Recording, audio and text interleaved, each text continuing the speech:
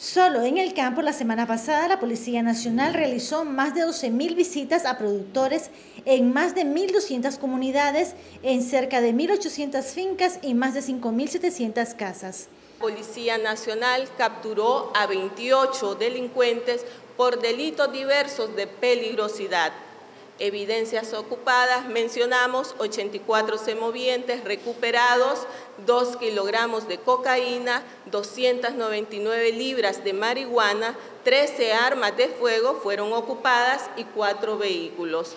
Además, los efectivos realizaron 50 asambleas con 1.042 productores y cerca de 1.300 coberturas de seguridad a 23 rubros de producción, entre estos oro, arroz, frijoles, mosáceas, cacao, frutas y hortalizas, por citar algunos.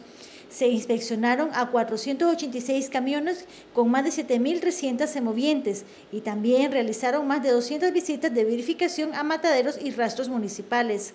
En la ciudad, los agentes del orden organizaron más de 330 asambleas con la participación de más de 11.800 personas. Realizó en este periodo 33.257 servicios de vigilancia y patrullaje en las modalidades a pie y motorizada. Estuvimos presentes en barrios, mercados, destinos turísticos, parques, paradas de buses. Los efectivos de la policía también garantizaron seguridad en más de 11.900 centros educativos. Los jefes de sectores realizaron 3.800 visitas a centros para atender las demandas de seguridad ciudadana. Celia Méndez Romero, TV Noticias.